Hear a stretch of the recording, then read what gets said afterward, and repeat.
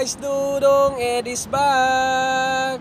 Guys, nandito po tayo ngayon sa rooftop ng Dubai Mall. Okay? Guys, ah, pinayagan lang po tayong pumunta dito ngayon. To be honest, eh, close talaga to siya. Eh, nakiusap lang tayo sa security guard. Dahil po, ah, ah, mamaya may fireworks dito sa Burj Khalifa. So dapat hindi da, hindi nila pinapapuntahan to ng tao. Okay guys, ito po yung sa ano kasi sa every new year ah pagsalubong ng bagong taon, ginag may ginagawang fireworks sa Burj Khalifa. So yun, itong rooftop na to para hindi siya puntahan ng mga tao, kino-close nila.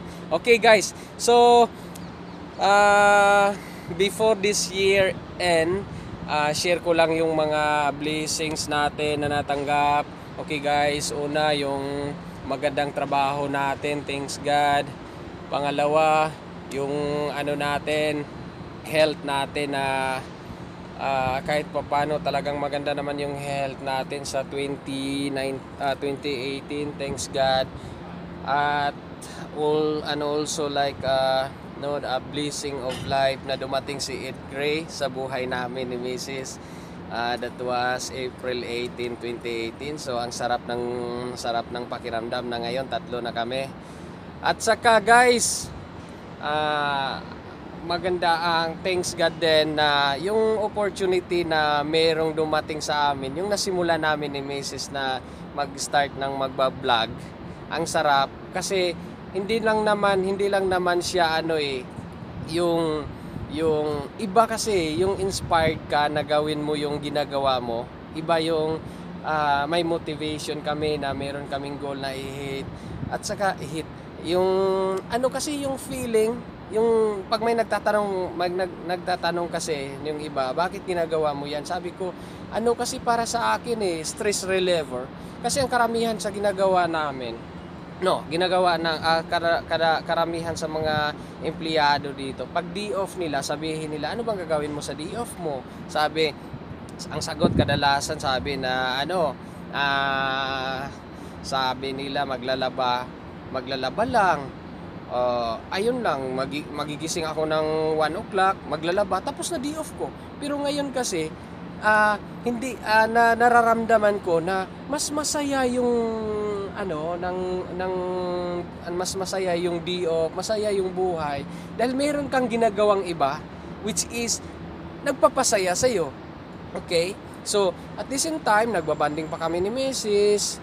So, ayun guys, ah laking pasalamat ko na merong mga taong nag-ano sa akin, yung nagpo-push, nagpo-push na why not gawin to? Kasi noon simula ano lang eh, kumbaga kunting video-video lang, why not gawin to, pinupost. So guys, salamat din sa suporta, sa mga nag-review, nagla-like, nagsa-subscribe guys.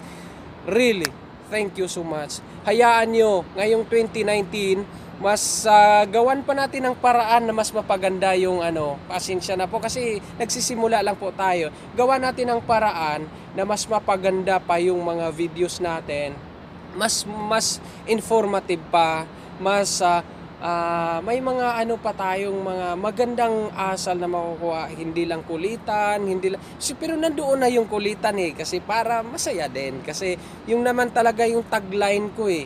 ah, basta happy lang. Masaya ang buhay basta happy lang. And always remember yung lagi kong sinasabi, we have a choice to be happy. Okay guys, so I will declare 2019 sa lahat po, tayong lahat, tayong lahat, may mga masaganang buhay, masaganang 2019, ah ba, how, paano pa, ah, ano pa, ah, health natin, stress-free, lahat, lahat sana abundant 2019 tayong lahat. So, guys, thank you for watching. Tabangan natin mamaya yung fireworks kung nandito pa tayo. Guys, thank you so much. Basta laging tandaan, masaya ang buhay basta happy lang. Guys, thank you so much. Happy New Year to all.